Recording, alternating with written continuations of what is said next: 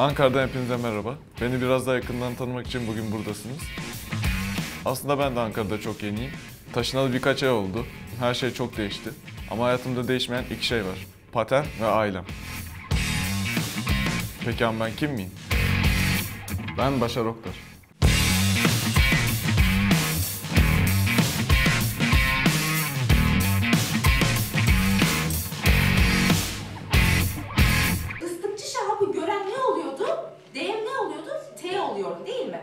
Ben 17 yaşındayım. Özel bir Anadolu Lisesi'nde 11. sınıftayım. Yaptığım spor sayesinde burslu okuyorum. Sağ olsun okulum da çok yardımcı oluyor. Yarışlara ve antrenmanlara gittiğimde derslerden eksik kalıyorum. Okulumda da hocalarım bana ek etütler koyarak bana yardımcı oluyor. Arkadaşlarım da aynı şekilde bana yardımcı oluyor. Dediğim gibi Ankara'da daha yeniyim ama çok kısa sürede çok iyi anlaştık. Başar e, disiplinli, çalışkan ve zeki bir çocuk, eğlenceli bir çocuk. Çok yardımsever biri. Ee, özellikle ilk buz patenine gittiğinde bana çok yardım etti. İyi anlaşıyoruz, çok iyi anlaşıyoruz. Ee, Bilmiyorum, ben yanımda yanımda olunca mutlu oluyorum. Başar, kafa denge, eğlenceli bir arkadaşımız. Dört dörtlük, pırlanta gibi bir çocuk. Ee, yardımsever olması, e, azimli olması Bazen böyle role giriyor. Böyle nasıl diyeyim, film izliyor mesela, onun etkisinde kalıyor. Bütün sınıfı güldürüyor. Sınavdan önceki dersler çok gergin oluyor. Stres oluyor. Özellikle sınavlardan önce. Söylüyorum sen daha iyisini yaparsın diye ve sonuç olarak yapıyor. Evet sınavlardan önce biraz geriliyorum. Ee, derslerde eksiklerim olduğu için kendime çok güvenmiyorum. Ama arkadaşlarım hep arkamda oluyor. Başar'a destek olmaktan gurur duyuyoruz ve e, hep yanındayız. Sevmediğim yönü antrenmanlara falan çok fazla gidiyor benden. Ya daha doğrusu herkesten fazla ders kaçırıyor. Ama gene de işte çok zeki olduğu için falan herhalde notları falan benden iyi yani. Şöyle, Emre beni aslında çok çalıştırıyor ama nedense hep ondan yüksek alıyorum. Yani özür diliyorum ondan.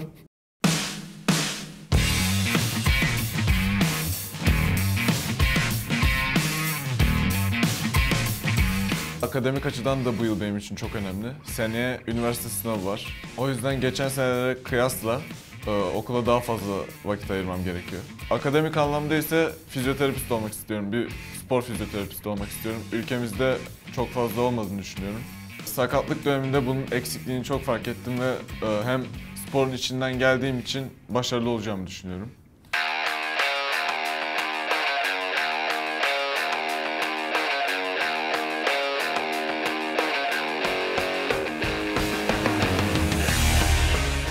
Okul bittikten sonra günlük programıma göre ya buzda antrenmana gidiyorum ya da spor salonuna gidiyorum. Şimdi spor salonundayım. İlker Hoca ve Orhan Hoca ile e, Ankara'ya geldiğimden beri hep birlikte çalışıyoruz. İlker Hoca zaten e, Beşiktaş A takımının eski kondisyoneri. Orhan Hoca da bana çok yardımcı oluyor. E, Bugün İlker Hoca yok, Orhan Hoca'ya çalışacağım. Başar çok kaliteli bir sporcu. Üst düzey antrenman kapasitesi ve potansiyeline sahip. Ayrıca mental olarak kuvvetli bir beyne sahip. Biz antrenmanlarda Başar'ın ihtiyaçlarına göre çalışıyoruz. Bireysel antrenörlükte e, branşın içine girebilmek son derece önemli. Özellikle kor bölge ve bacak kaslarının çok kuvvetli olması buz pateni branşı için oldukça önemli. Tabii ki tüm vücudumuzu çalıştırıyoruz. Ayrıca denge unsurlarına çok fazla önem veriyoruz. Zaman zaman fonksiyonel, zaman zaman fitness antrenmanlarıyla çeşitlendiriyoruz ki başarı antrenmanlarını sıkılmadan sürdürebilsin. Gün içerisinde hem e, buz pateni antrenmanı hem kuvvet antrenmanı yapıyor. Bu oldukça gayret gerektiren ve enerji gerektiren bir şey. Başarılı bir sporcu. İlerleyen zamanlarda çok daha iyi yerlerde göreceğimize eminim.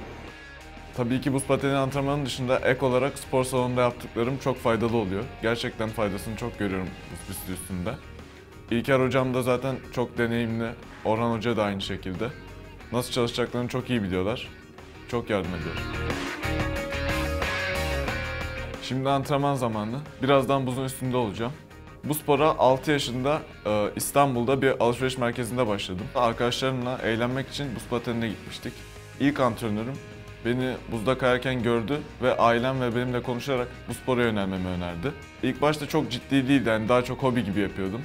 Fakat sonra ilk yarışmada kazandığım madalya ile birlikte iş ciddiye binmeye başladı. 3-4 aylık çalışmayla Ankara'da Türkiye Şampiyonası'na, Türkiye Teşvik Şampiyonası'na geldik. Yanlış hatırlamıyorsam 7 kişi yarışıyorlardı. Başar orada gümüş madalya aldı. Biz böyle inanılmaz şaşkın ve heyecan içerisindeydik. Hatta e, o bazen dönüp o o yarışmadaki video çekimime bakıyorum. Hani Başar dışında her şeyi çekmişim.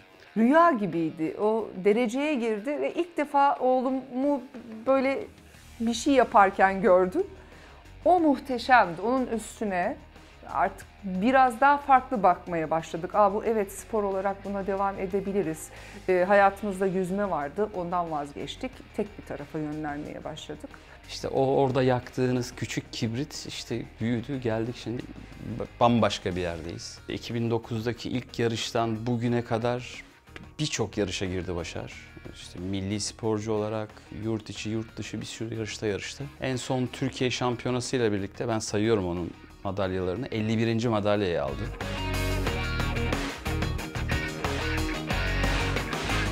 Bu spora İstanbul'da başlamıştık. 2019'un Eylül ayına kadar da İstanbul'da devam ettik. Sonra baktık Ankara'nın imkanları daha iyiydi. O yüzden Ankara'ya taşınmaya karar verdik. Kulüp değiştirdik, hoca değiştirdik. Ama hani iyi başladık, iyi gidiyoruz. Daha da iyi olacak diye umuyoruz. Manu daha yeni çalışmaya başladık ama daha önceden beri birbirimizi tanıyoruz. O da yaklaşık 5 yıldır Türkiye'de. Kısa zamanda çok iyi ve çabuk uyum sağladık. Ondan çok şey öğreneceğimi düşünüyorum. He's a talented boy, hard worker. Um, he's trying to improve himself all the time and uh, very ambitious. We make some plans together. I hope uh, he will have in uh, the end of this season good results. Yeah, of course, everybody wants to qualify for Olympic Games. Also, he wants. So uh, it's not easy. Will be two years. He needs to work hard for this, but you never know. Nothing is impossible.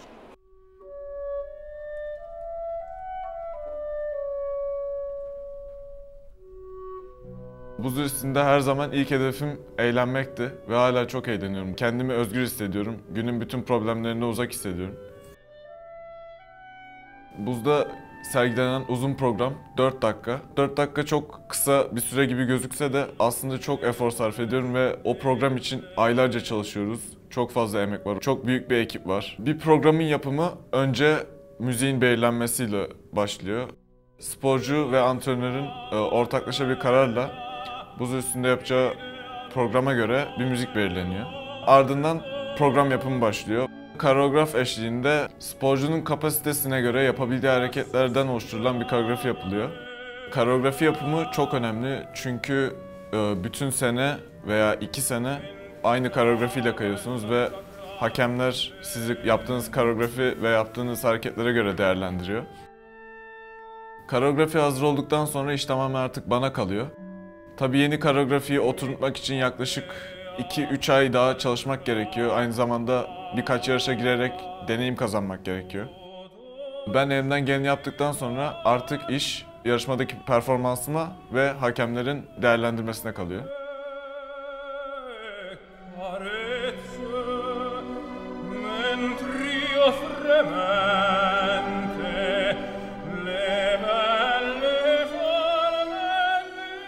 Antrenman ve okul sebebiyle evde de çok fazla vakit geçiremiyorum.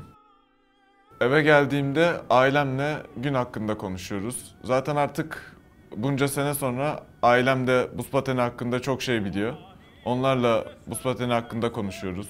Antrenmanlar hakkında konuşuyoruz, yarışlar hakkında konuşuyoruz. Hatalarımı konuşuyoruz, iyi yaptığım şeyleri konuşuyoruz.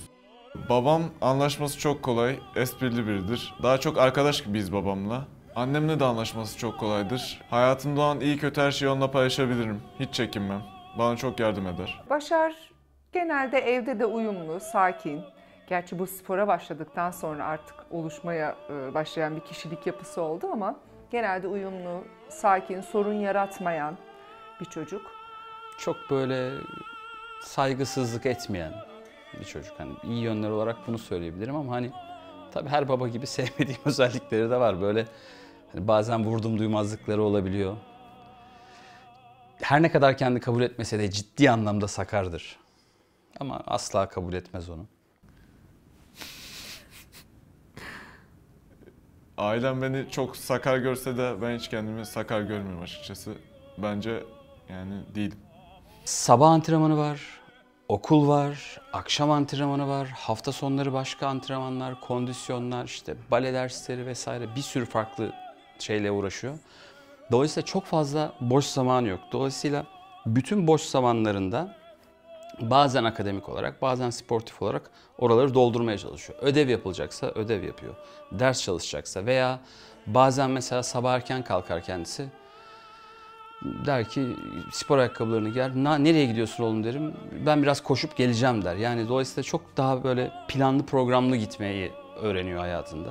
Spor onun hayatında çok şeyi değiştirdi. Tabii bizim de çok yordu. Kolay değildi. Hatta şöyle bir şey yaşamıştım. Arabadayız. Çok yoruldum herhalde. Yorulduğum günlerden birindeydi. Artık yeter Başar, bıktım sen, senin artık okula taşımaktan, oradan buza taşımaktan, kondisyona taşımaktan çok yoruldum artık, bıktım diye söylenirken sustum döndü. Anne yalnız farkında mısın? Bunların tamamını ben yapıyorum. Sen sadece kapının önünde beni bekliyorsun. Dedikten sonra bir daha artık e, bir şey demedim. Konu orada kapandı. İyi geceler.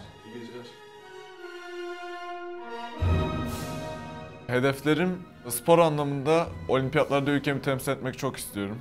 Evet her sporcu olimpiyatlara gitmek istiyor. Zor bir hedef fakat başarılamayacak bir hedef değil. Yapabileceğime inanıyorum ve bunun için çok çabalıyorum. Kendimi olimpiyatlarda hayal edince bile çok gurur duyuyorum.